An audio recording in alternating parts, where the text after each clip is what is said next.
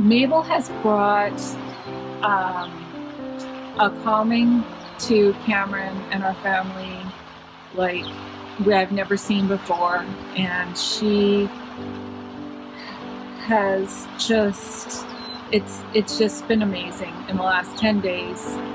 What she's been able to do and what she will do in the future she has we've just seen un, unbelievable things in the last 10 days cameron walking with us in along sidewalks and malls cameron not bolting and being calm watching movies and just being a normal kid sometimes. And that's just an incredible thing for us to see.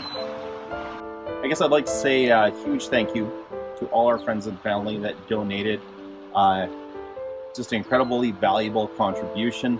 Uh, it's just want each and every one of you to know this makes a very significant difference in our lives. It's a huge contribution to Cameron's well-being, our well-being, and just the overall unity of our family. Uh, it's wonderful to have Mabel. She is our new service dog, being part of our family. In a very short time, we've already seen the amazing benefits, safety, and security that she can bring to our family.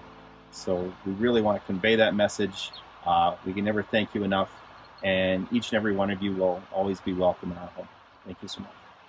Thank you.